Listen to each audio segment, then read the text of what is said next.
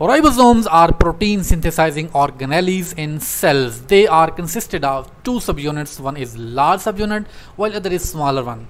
Svedberg units for larger subunit are 50s while 30s for smaller ones. When both units are assembled together while protein synthesis is active, they have 70s units. Now, most of the students confuse here that if we add both numbers arithmetically or mathematically it is 80 then why whole assembly has number 70s in biology? Well that's right question if it is solved mathematically but in biology the reason for allocation of these units is not mathematics but centrifugation. Now what is centrifugation? Well centrifugation is a technique of sedimentation of solutions particles based on their sizes shapes densities, viscosities and rotor speed. Now rotor speed is important here because it generates different levels when different speeds are used in machines. Now let's come to the answer.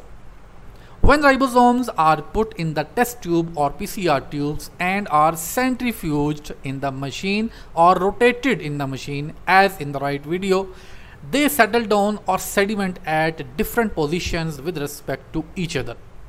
When whole ribosomes are centrifuged, they settle down as 70s or Svedbergs near to bottom. Similarly, when separate subunits are centrifuged, they settle or sediment at different levels in the tube. Larger subunits settle at 50s while smaller ones settle at 30s units. It is because whole assembly has larger size, large shape and is heavy that's why settle in the bottom while other smaller units settle based on their respective sizes and shapes and weights as well. That's the right answer to confusion.